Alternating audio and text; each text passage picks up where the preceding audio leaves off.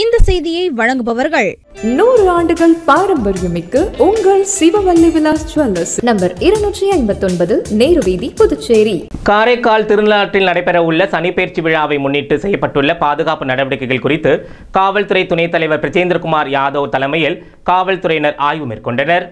புதுச்சேரி காரைக்கால் பிராந்தியத்தில் உள்ள திருநள்ளாற்றில் அமைந்துள்ள உலக பிரசித்தி பெற்ற ஸ்ரீ தர்பராணீஸ்வரர் தேவஸ்தானம் ஸ்ரீ சனீஸ்வர பகவான் ஆலயத்தில் வருகின்ற இருபதாம் தேதி நடைபெறவுள்ள சனிப்பெயர்ச்சி விழாவில் லட்சக்கணக்கான பக்தர்கள் பங்கேற்க வருவார்கள் என்பதால் பக்தர்களின் பாதுகாப்பு நடவடிக்கை குறித்து காவல்துறை மற்றும் மாவட்ட நிர்வாகம் பல்வேறு நடவடிக்கைகள் மேற்கொண்டு வருகின்றனர். இந்த நிலையில் புதுச்சேரி மாநில காவல்துறையின் துணைத் தலைவர் பிரஜேந்திரகுமார் யாதவ் திருவிழா நடைபெறவுள்ள திருநள்ளாறு கோவிலுக்கு வருகை தந்து சனிப்பெயர்ச்சி விழா அன்று பக்தர்களின் பாதுகாப்பு நடவடிக்கை குறித்து காவல்துறை அதிகாரிகளுடன் ஆலோசனை மேற்கொண்டார்.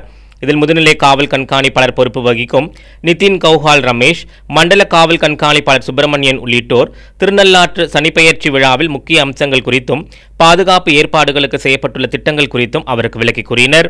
மேலும் பல்வேறு பகுதிகளில் கண்காணிப்பு கேமரா பொருத்துவது உள்ளிட்ட பாதுகாப்பு பணிகள் குறித்து அதிகாரிகளிடம் காவல்துறை துணைத் தலைவர் கேட்டறிந்து பாதுகாப்புகளை தீவிரப்படுத்த வேண்டும் என்று அதிகாரிகளுக்கு அறிவுறுத்தினார். காரைக்காலில் ஐம்பதாம் ஆண்டு ஐயப்ப சுவாமி ஆராதனை விழாவை முன்னிட்டு நடைபெற்ற நூற்றி எட்டு திருவிளக்கு பூஜையில் ஏராளமான பெண்கள் கலந்து கொண்டு ஐயப்பனை வழிபட்டு சென்றனர்.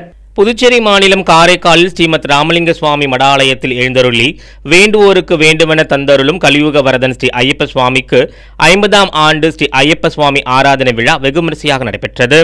இதில் கணபதி ஹோமம் சாஸ்தா ஹோமம் தொடர்ந்து சிறப்பு அபிஷேகமும் மகா தீபாரதனும் நடைபெற்றது. மஞ்சள் பால் தயிர் நெய் விபூதி சந்தனம் மற்றும் பஞ்சாமிர்தம் உள்ளிட்ட பல்வேறு திரவியங்களால் அபிஷேகம் நடைபெற்றது.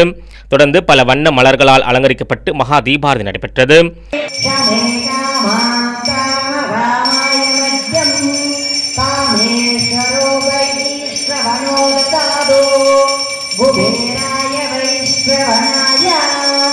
மகாராஜா நம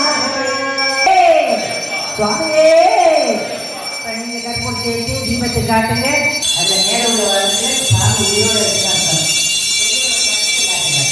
பின்னர் நூற்றி எட்டு பெண்கள் பங்கேற்ற திருவிளக்கு பூஜையும் நடைபெற்றது.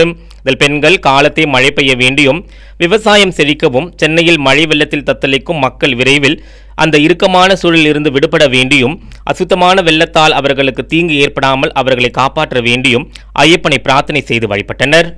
உங்கள் ஏஎம்என் டிவி செய்திகளை யூடியூபில் உடனுக்குடன் காண ஏஎம்என் டிவி பாண்டிச்சேரி சேனலை சப்ஸ்கிரைப் செய்யுங்கள். பெல் பட்டனை மறக்காமல் கிளிக் செய்யுங்கள்.